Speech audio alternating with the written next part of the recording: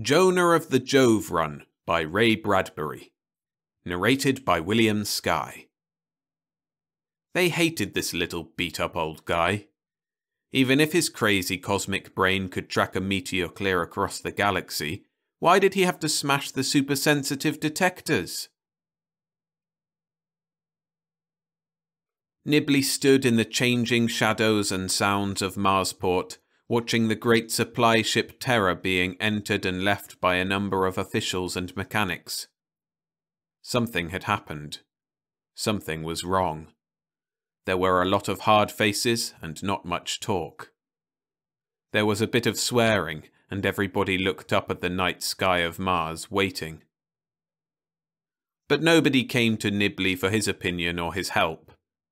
He stood there, a very old man, with a slack gummed face and eyes like the little bubbly stalks of crayfish looking up at you from a clear creek. He stood there fully neglected. He stood there and talked to himself. They don't want me or need me, he said.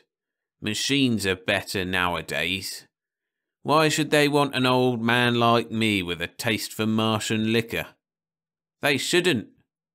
A machine isn't old and foolish and doesn't get drunk. Way out over the dead sea bottoms, Nibley sensed something moving. Part of himself was suddenly awake and sensitive. His small, sharp eyes moved in his withered face. Something inside of his small skull reacted, and he shivered. He knew. He knew that what these men were watching and waiting for would never come. Nibley edged up to one of the astrogators from the Terror. He touched him on the shoulder. Say, he said. I'm busy, said the astrogator. I know, said Nibley, but if you're waiting for that small repair rocket to come through with the extra auxiliary asteroid computator on it, you're wasting your time. Like hell, said the astrogator, glaring at the old man. That repair rocket's got to come through, and quick. We need it. It'll get here. No, it won't, said Nibley sadly, and shook his head and closed his eyes. It just crashed a second ago out on the Dead Sea bottom. I felt it crash. I sensed it going down. It'll never come through. Go away, old man, said the astrogator. I don't want to hear that kind of talk. It'll come through. Sure. Sure, it has to come through. The astrogator turned away and looked at the sky, smoking a cigarette. I know it as a fact, said Nibley, but the young astrogator wouldn't listen. He didn't want to hear the truth. The truth was not a pleasant thing. Nibley went on to himself. I know it for a fact just like I was always able to know the course of meteors with my mind, or the orbits or parabolas of asteroids. I tell you. The men stood around waiting and smoking. They didn't know yet about the crash out there. Nibley felt a great sorrow rise in himself for them. That ship meant a great deal to them, and now it had crashed. Perhaps their lives had crashed with it. A loudspeaker on the outer area of the landing tarmac opened out with a voice. Attention crew of the Terror. The repair ship just radioed in a report that it has been fired upon from somewhere over the Dead Seas. It crashed a minute ago. The report was so sudden and quiet and matter of fact that the standing smoking men did not for a moment understand it. Then, each in his own way, they reacted to it. Some of them ran for the radio building to verify the report. Others sat down and put their hands over their faces. Still more of them stood staring at the sky, as if staring might put the repair ship back together again and get it here safe and intact. Instinctively, at last, all of them looked up at the sky. Jupiter was there, with its coterie of moons, bright and far away. Part of their lives lived on Jupiter, most of them had children and wives there, and certain duties to perform to ensure the longevity of said children and wives. Now, with the speaking of a few words over a loudspeaker, The distance to Jupiter was suddenly an immense impossibility. The captain of the rocket Terror walked across the field slowly. He stopped several times to try and light a cigarette, but the night wind blew it out. He stood in the rocket's shadow and looked up at Jupiter and swore quietly again and again, and finally threw down his cigarette and heeled it with his shoe. Nibley walked up and stood beside the captain. Captain Kroll? Kroll turned. Oh, hello, Grandpa. Tough luck. Yeah. Yeah. I guess that's what you'd call it. Tough luck. You're going to take off anyway, Captain? Sure, said Kroll quietly, looking at the sky. Sure. How's the protective computator on board your ship? Not so hot. Bad, in fact. It might conk out before we get halfway through the asteroids. That's not good, said Nibley. It's lousy. I feel sick. I need a drink. I wish I was dead. I wish we'd never started this damned business of being damned pioneers. My family's up there. He jerked his hand halfway to Jupiter violently. He settled down and tried to light another cigarette. No go. He threw it down after the other. Can't get through the asteroids without an asteroid computator to protect you, without that old radar setup, Captain, said Nibley, blinking wetly. He shuffled his small feet around in the red dust. We had an auxiliary computator on that repair ship coming from Earth, said Kroll, standing there. And it had to crash. The Martians shoot it down, you think? Sure. They don't like us going up to Jupiter. They got claims there too. They'd like to see our colony die out. Best way to kill a colony is starve the colony. Starve the people. That means my family and lots of families. Then when you starve out the families, the Martians can step in and take over. Damn their filthy souls. Kroll fell silent. Nibley shifted around. He walked around in front of Kroll so Kroll would see him. Captain? Kroll didn't even look at him. Nibley said, Maybe I can help. You? You heard about me, Captain. You heard about me. What about you? You can't wait a month for another auxiliary computator to come through from Earth. You got to push off tonight to Jupiter to get to your family and the colony and all that, Captain, sure. Nibley was hasty. He sort of fidgeted around, his voice high and excited. And if your only computator conks out in the middle of the asteroids, well, you know what that means. Bang! No more ship. No more you no more colony on Jupiter. Now you know about me, my ability. You know, you heard. Kroll was cool and quiet and far away. I heard about you, old man. I heard lots. They say you got a funny brain and do things machines can't do. I don't know. I don't like the idea. But you got to like the idea, Captain. I'm the only one can help you now. I don't trust you. I heard about your drinking that time and wrecking that ship. I remember that. But I'm not drinking now. See? Smell my breath. Go ahead. You see? Kroll stood there. He looked at the ship, and he looked at the sky, and then at Nibley. Finally, he sighed. Old man, I'm leaving right now.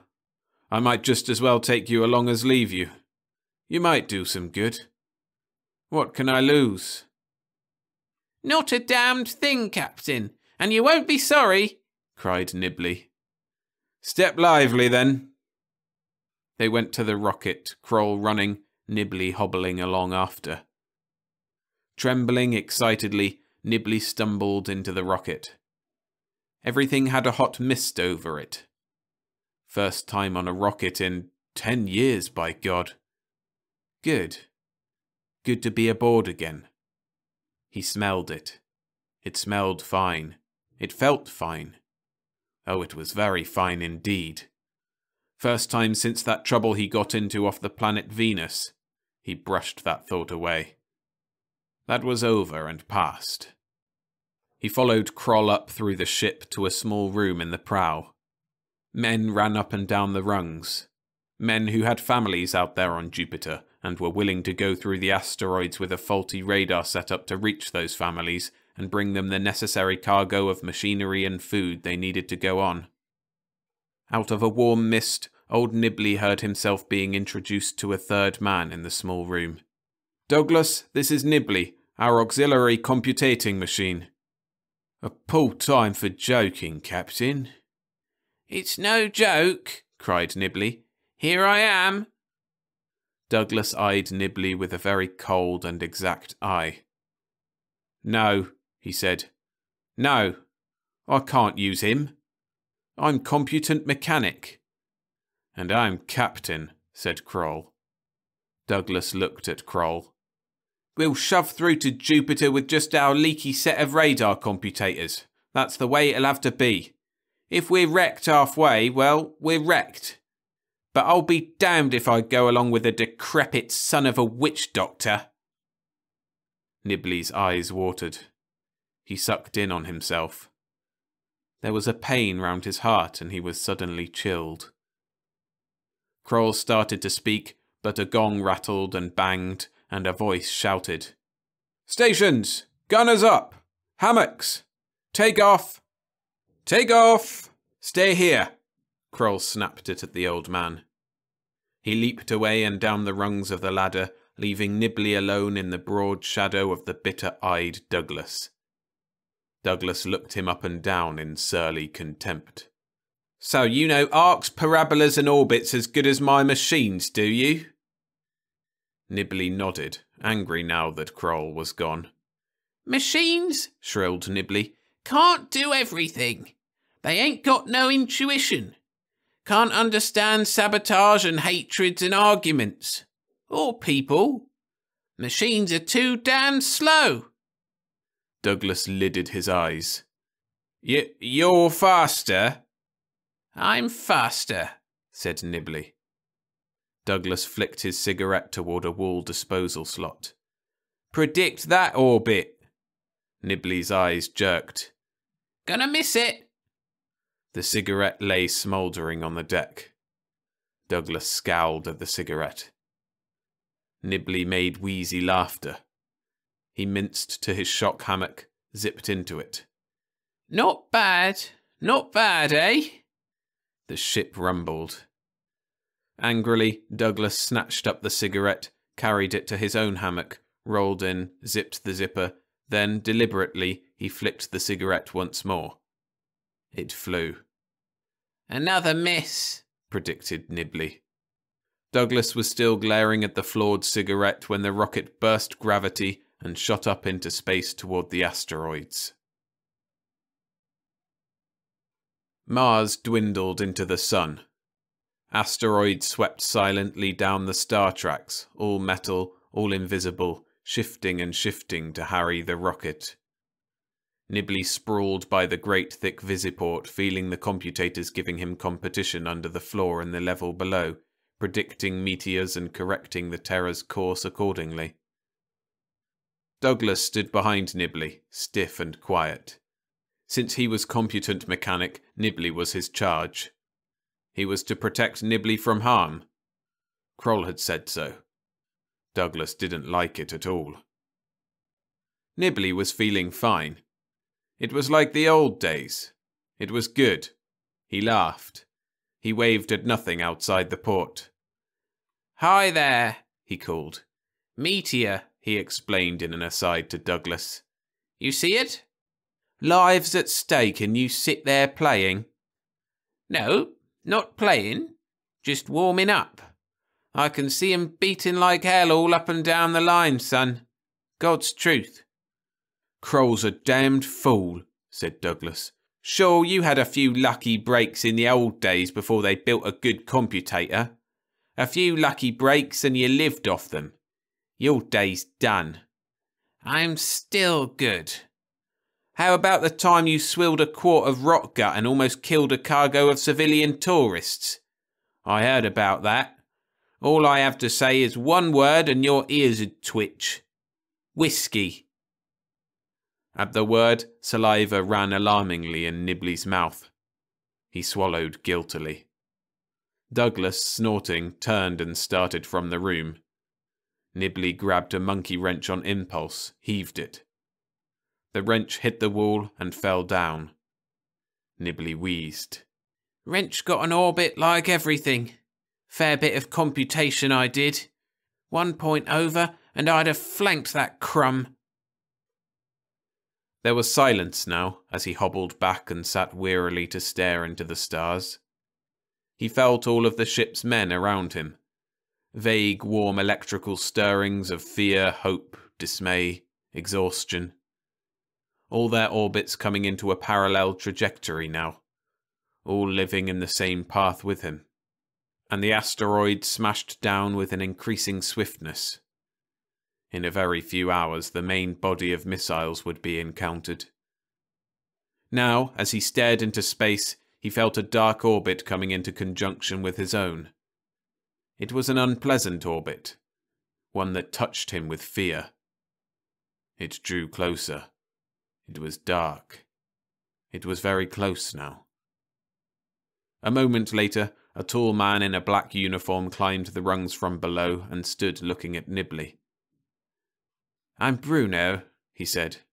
He was a nervous fellow and kept looking around, looking around at the walls, the deck, at Nibley. I'm food specialist on board. How come you're up here? Come down to mess later. Join me in a game of Martian chess. Nibley said, I'd beat the hell out of you. Wouldn't pay. It's against orders for me to be down below, anyways. How come? Never you, never mind. Got things to do up here. I notice things. I'm charting a special course in a special way. Even Captain Kroll don't know every reason why I'm making this trip. Got my own personal reasons. I see 'em coming and going, and I got their orbits picked neat and dandy. Meteors, planets, and men. Why, let me tell you. Bruno tensed somewhat forward. His face was a little too interested. Nibley didn't like the feel of the man. He was off trajectory. He smelled funny. He felt funny. Nibley shut up. Nice day, he said. Go ahead, said Bruno. You were saying? Douglas stepped up the rungs. Bruno cut it short saluted Douglas, and left. Douglas watched him go coldly. What'd Bruno want? he asked of the old man. Captain's orders, you're to see nobody. Nibley's wrinkles made a smile. Watch that guy, Bruno. I've got his orbit fixed all round and arced. I see him going now, and I see him reaching aphelion, and I see him coming back. Douglas pulled his lip. You think Bruno might be working for the Martian industrial clique? If I thought he had anything to do with stopping us from getting to the Jovian colony. He'll be back, said Nibley, just before we reach the heavy asteroid belt. Wait and see. The ship swerved. The computators had just dodged a meteor. Douglas smiled. That griped Nibley. The machines were stealing his feathers. Nibley paused and closed his eyes. Here come two more meteors. I've beat the machine this time. They waited. The ship swerved twice. Damn it, said Douglas. Two hours passed. It got lonely upstairs, said Nibley apologetically. Captain Kroll glanced nervously up from the mess table where he and twelve other men sat. Williams, Simpson, Haines, Bruno, McClure, Leiber, and the rest. All were eating, but not hungry. They all looked a little sick. The ship was swerving again and again, steadily, steadily, back and forth. In a short interval, the heavy belt would be touched. Then there would be real sickness, Okay, said Kroll to Nibley. You can eat with us this once, and only this once. Remember that. Nibley ate like a starved weasel. Bruno looked over at him again and again, and finally asked, How about that chess game? No, I always win. Don't want to brag, but I was the best outfielder playing baseball when I was at school. Never struck out at bat, neither. Damn good. Bruno cut a piece of meat. What's your business now, Gramps? Finding out where things is going, evaded Nibley. Kroll snapped his gaze at Nibley. The old man hurried on. Why, I know where the whole blamed universe is heading. Everybody looked up from their eating. But you wouldn't believe me if I told you, laughed the old man. Somebody whistled. Others chuckled. Kroll relaxed. Bruno scowled. Nibley continued. It's a feeling. You can't describe stars to a blind man, or God to anybody. Why, hell's bells, lads, if I wanted, I could write a formula on paper, and if you worked it out in your mind, you'd drop dead of symbol poison. Again, laughter. A bit of wine was poured all around as a bracer for the hours ahead. Nibley eyed the forbidden stuff and got up. Well, I got to go. Have some wine, said Bruno. No thanks, said Nibley. Go ahead, have some, said Bruno. I don't like it, said Nibley, wetting his lips. That's a laugh, said Bruno, eyeing him. I got to go upstairs. Nice to have ate with you boys. See you later, after we get through the swarms. Faces became wooden at the mention of the approaching belt. Fingers tightened against the table edge. Nibley spidered back up the rungs to his little room alone. An hour later, Nibley was drunk as a chromium plated pirate. He kept it a secret. He hid the wine bottle in his shock hammock groggily. Stroke of luck. Oh, yes, oh, yes, a stroke, a stroke of luck. Yes, yes, yes finding that lovely, fine, wonderful wine in the storage cabinet near the Visiport. Why, yes, and since he'd been thirsty for so long, so long, so long. Well, gurgle, gurgle. Nibley was drunk. He swayed before the Visiport, drunkenly deciding the trajectories of a thousand invisible nothings. Then he began to argue with himself, drowsily, as he always argued when wine webs were being spun through his skull by red, drowsy spiders. His heart beat dully. His little sharp eyes flickered with sudden flights of anger. You're some liar, Mr. Nibley, he told himself. You point at meteors, but who's to prove you right or wrong, right or wrong, eh? You sit up here and wait and wait and wait. Those machines down below spoil it. You never have a chance to prove your ability. No, the captain won't use you. He won't need you. None of those men believe in you. Think you're a liar. Laugh at you. Yes, laugh. Yes, they call you an old, old liar. Nibley's thin nostrils quivered. His thin, wrinkled face was crimsoned and wild. He staggered to his feet, got hold of his favourite monkey wrench, and waved it slowly back and forth. For a moment, his heart almost stopped in him. In panic, he clutched at his chest, pushing, pulling, pumping at his heart to keep it running. The wine, the excitement. He dropped the wrench. No, not yet. He looked down at his chest, wildly tearing at it. Not just yet. Oh, please he cried. Not until I show them. His heart went on beating drunkenly, slowly. He bent, retrieved the wrench, and laughed numbly. I'll show 'em, he cried, weaving across the deck. Show them how good I am. Eliminate competition. I'll run the ship myself. He climbed slowly down the rungs to destroy the machines. It made a lot of noise. Nibley heard a shout. Get him! His hand went down again, again. There was a scream of whistles, a jarring of flung metal, a minor explosion. His hand went down again, the wrench in it. He felt himself cursing and pounding away. Something shattered. Men ran toward him. This was the computator. He hit upon it once more. Yes. Then he was caught up like an empty sack, smashed in the face by someone's fist, thrown to the deck. Cut acceleration! A voice cried far away. The ship slowed.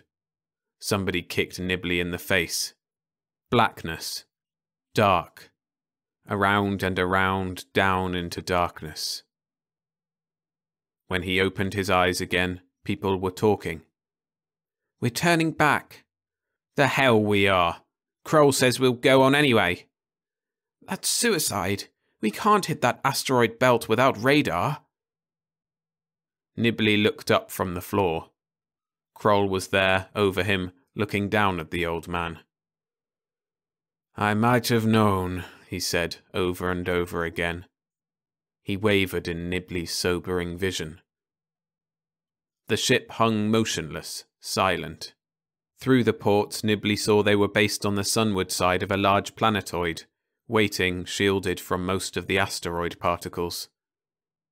I'm sorry, said Nibley. He's sorry, Kroll swore. The very man we bring along as relief computator sabotages our machine. Hell. Bruno was in the room. Nibley saw Bruno's eyes dilate at Kroll's exclamation. Bruno knew now. Nibley tried to get up. We'll get through the swarm anyway. I'll take you through. That's why I broke that blasted contraption. I don't like competition. I can clear a path through them asteroids big enough to tug Luna through on track five. Who gave you the wine? I found it. I just found it, that's all. The crew hated him with their eyes. He felt their hatred like so many meteors coming in and striking at him. They hated his shriveled, wrinkled old man guts. They stood around and waited for Kroll to let them kick him apart with their boots. Kroll walked around the old man in a circle. You think I'd chance you getting us through the belt? he snorted. What if we got half through and you got potted again? He stopped with his back to Nibley. He was thinking. He kept looking over his shoulder at the old man. I can't trust you. He looked out the port at the stars, at where Jupiter shone in space. And yet, he looked at the men, do you want to turn back? Nobody moved. They didn't have to answer. They didn't want to go back. They wanted to go ahead. We'll keep on going then, said Kroll. Bruno spoke. We crew members should have some say. I say go back. We can't make it. We're just wasting our lives. Kroll glanced at him coolly. You seem to be alone. He went back to the port. He rocked on his heels. It was no accident Nibley got that wine. Somebody planted it, knowing Nibley's weakness. Somebody who was paid off by the Martian industrials to keep this ship from going through. This was a clever setup.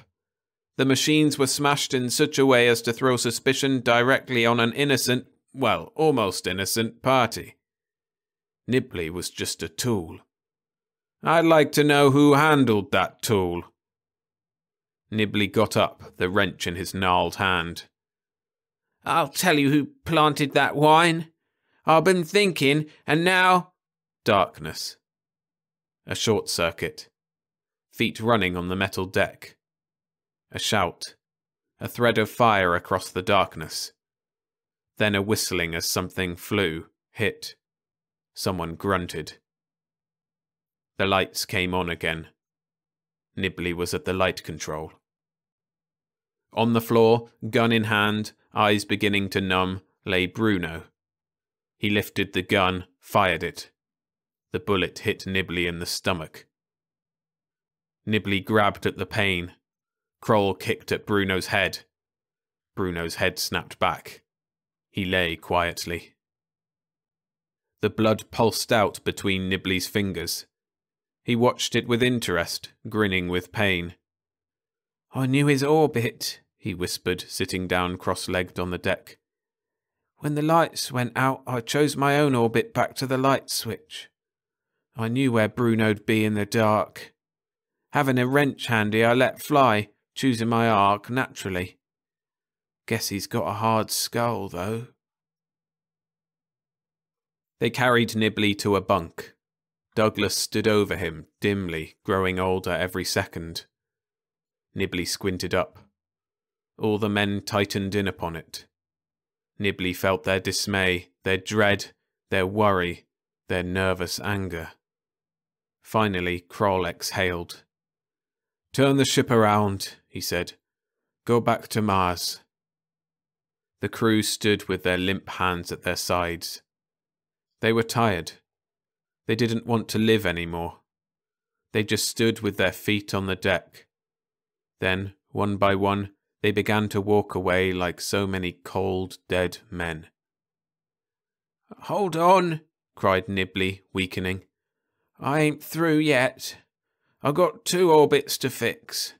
I got one to lay out for this ship to Jupiter, and I got to finish out my own separate, secret, personal orbit. You ain't turning back nowhere. Kroll grimaced. Might as well realize it, Grandpa. It takes seven hours to get through the swarms, and you haven't got another two hours in you. The old man laughed. Think I don't know that? Hell, who's supposed to know all these things, me or you? You, Pop. Well then, damn it, bring me a bolger. Now look, you heard me, by God, a bolger. Why? You ever hear of a thing called triangulation? Well, maybe I won't live long enough to go with you, but by all the sizes and shapes of behemoths, this ship is jumping through to Jupiter. Kroll looked at him. There was a breathing silence, a heart beating silence in the ship. Kroll sucked in his breath, hesitated, then smiled a grey smile. You heard him, Douglas. Get him a bolger. And get a stretcher, and tote this ninety pounds of bone out on the biggest asteroid around here. Got that? You heard him, Haines. A stretcher. Stand by for manoeuvring. Kroll sat down by the old man. What's it all about, Pop? You're sober? Clear as a bell. What are you going to do? Redeem myself of my sins, by George. Now get your ugly face away so I can think. And tell them bucks to hurry. Kroll bellowed, and men rushed. They brought a spacesuit, inserted the ninety pounds of shrill and wheeze and weakness into it. The doctor had finished with his probings and fixings, buckled, zipped, and welded him into it. All the while they worked, Nibley talked. Remember when I was a kid? Stood up to that there plate pounding out baseballs north, south, and six ways from Sundays. He chuckled. Used to hit 'em and predict which window in what house they'd break. Wheezy laughter. One day I said to my dad, Hey, Dad, a meteor just fell on Simpson's garage over in Jonesville. Jonesville is six miles from here, said my father, shaking his finger at me. You quit your lying, Nibley boy, or I'll trot you to the woodshed. Save your strength, said Kroll. That's all right, said Nibley. You know, the funny thing was always that I lied like hell, and everybody said I lied like hell. But come to find out later, I wasn't lying at all. It was the truth. I just sensed things. The ship maneuvered down on a windless, empty planetoid. Nibley was carried on a stretcher out onto alien rock. Lay me down right here. Prop up my head so I can see Jupiter and the whole damned asteroid belt. Be sure my headphones are tuned neat. There. Now, give me a piece of paper. Nibley scribbled a long, weak snake of writing on a paper, folded it. When Bruno comes to, give him this. Maybe he'll believe me when he reads it. Personal, Don't pry into it yourself. The old man sank back, feeling pain drilling through his stomach and a kind of sad happiness. Somebody was singing somewhere, he didn't know where. Maybe it was only the stars moving on the sky. Well, he said clearly, guess this is it, children. Now get the hell aboard. Leave me alone to think. This is going to be the biggest, hardest, damnedest job of computating I ever latched onto. There'll be orbits and cross orbits, big balls of fire and little bitty specules, and by God, I'll chart 'em all. I'll chart a hundred thousand of the damned monsters and their offspring. You just wait and see. Get aboard. I'll tell you what to do from there on. Douglas looked doubtful. Nibley caught the look. Whatever happens, he cried, will be worth it, won't it? It's better than turning back to Mars, ain't it? Well, ain't it? It's better, said Douglas. They shook hands. Now all of you, get! Nibley watched the ship fire away, and his eyes saw it and the asteroid swarm and that brilliant point of light that was massive Jupiter. He could almost feel the hunger and want and waiting up there in that star flame. He looked out into space, and his eyes widened, and space came in, opened out like a flower, and already, natural as water flowing, Nibley's mind, tired as it was, began to shiver out calculations. He started talking. Captain, take the ship straight out now, you hear? Fine, answered the captain. Look at your dials. Looking. If number 7 reads 132.87, okay. Keep her there.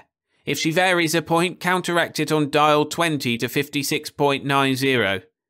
Keep her hard over for 70,000 miles. All that is clear so far. Then, after that, a sharp veer in number 2 direction, over a thousand miles. There's a big sweep of meteors coming in on that path for you to dodge. Let me see, let me see, he figured. Keep your speed at a constant of 100,000 miles. At that rate, check your clocks and watches. In exactly an hour, you'll hit the second part of the Big Belt. Then switch to a course roughly 5,000 miles over to number 3 direction. Veer again five minutes on the dot later and... Can you see all those asteroids, Nibley? Are you sure? Sure, lots of them. Every single one going every which way. Keep straight ahead until two hours from now, after that last direction of mine. Then slide off at an angle toward Jupiter, slow down to 90,000 for 10 minutes, then up to 110,000 for 15 minutes. After that, 150,000 all the way. Flame poured out of the rocket jets. It moved swiftly away, growing small and distant. Give me a read on dial 67. Four. Make it six. And set your automatic pilot to 61 and 14 and 35. Now, everything's okay. Keep your chronometer reading this way 7, 9, 12. There'll be a few tight scrapes, but you'll hit Jupiter square on in 24 hours if you jump your speed to 700,000 six hours from now and hold it that way. Square on it is, Mr. Nibley. Nibley just lay there a moment, his voice was easy and not so high and shrill anymore. And on the way back to Mars later, don't try to find me. I'm going out in the dark on this metal rock. Nothing but dark for me. Back to perihelion and sun for you. No, know where I'm going? Where? Centaurus, Nibley laughed. So help me God I am. No lie. He watched the ship going out then, and he felt the compact, collected trajectories of all the men in it.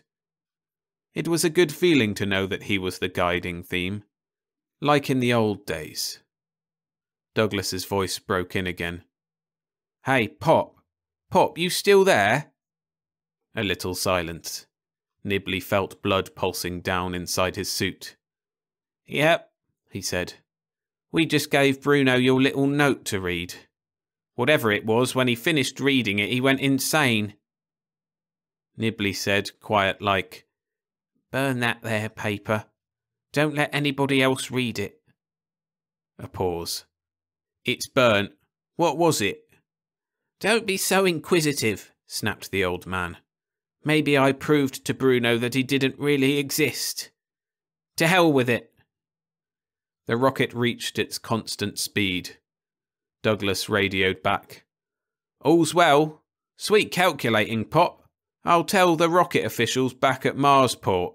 They'll be glad to know about you. Sweet, sweet calculating. Thanks. How goes it? I said, how goes it? Hey, Pop! Pop! Nibley raised a trembling hand and waved it at nothing. The ship was gone. He couldn't even see the jet wash now.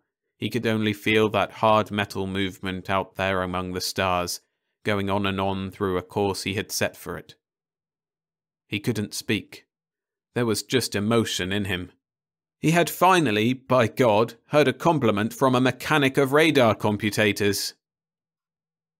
He waved his hand at nothing. He watched nothing moving on and on into the crossed orbits of other invisible nothings. The silence was now complete. He put his hand down. Now he had only to chart that one last personal orbit. The one he had wanted to finish only in space and not grounded back on Mars. It didn't take lightning calculation to set it out for certain. Life and death were the parabolic ends to his trajectory.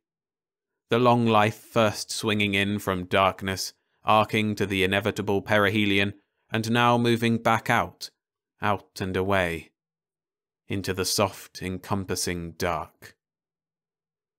By God, he thought weakly, quietly.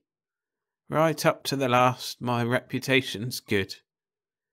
Never fluked a calculation yet and I never will.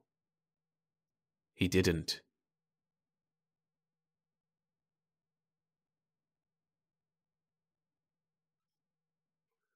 Thanks for listening.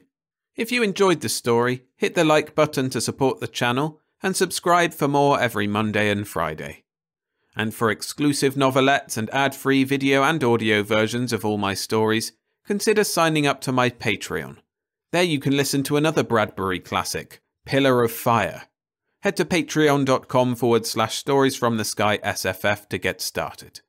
Or stick around on YouTube where I have a few other short stories by Ray Bradbury. Next up, I recommend Morgue Ship. A link to that narration is on screen now.